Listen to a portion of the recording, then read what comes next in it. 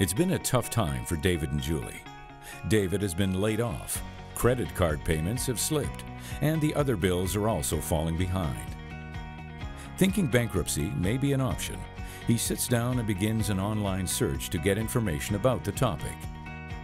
He finds the Office of the Superintendent of Bankruptcy Canada, the federal organization that licenses and regulates licensed insolvency trustees, professionals who can provide the information he needs.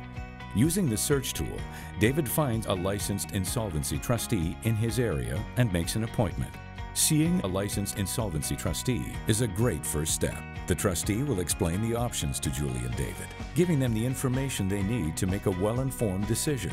After an open and frank discussion about what they earn, what they own, and how much they owe, Julie and David decide that bankruptcy is, in fact, the most appropriate choice.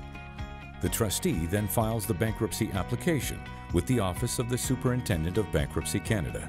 Once the application is filed, the trustee will take care of legal obligations, and Julie and David will stop making payments directly to their creditors.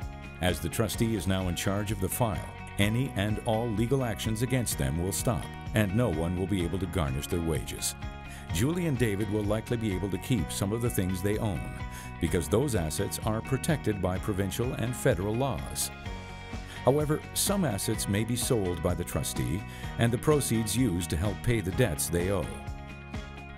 Their creditors will be notified of the bankruptcy, and if a meeting of creditors is called, Julie and David will have to attend. They will also have to attend two counseling sessions to help them get back on their feet financially. Finally, they may have to make payments toward their debt, called surplus income payments.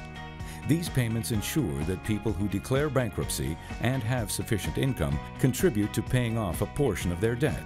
Eventually, their debts will be discharged, relieving them from the obligation of repaying most of the debt they had on the day they filed for bankruptcy. While this comes as a relief to both Julie and David, the trustee also explains that some debts cannot be discharged. These include alimony and child support payments, court-ordered fines or penalties, debts arising from fraud, and in some cases, student loans. While the bankruptcy will affect their credit rating for a number of years, the trustee tells them that once the debt is discharged, they can start to rebuild their financial future. It's not an ideal situation. But dealing with this does lift a weight off their shoulders. This is one of a series of videos available on our website. The website also includes a searchable database of licensed insolvency trustees, the only professionals who can file a consumer proposal or bankruptcy application in your name, should you wish to contact one for information.